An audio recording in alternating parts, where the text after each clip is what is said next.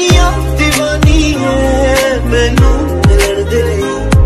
ਪਰ ਮੈਂ ਤਾਂ ਹਾਂ, ਤੈਨੂੰ ਮਿਲਣ ਲਈ। ਉਹ ਐਵੇਂ ਮੇਰੀ ਸੋਹਣੀਏ।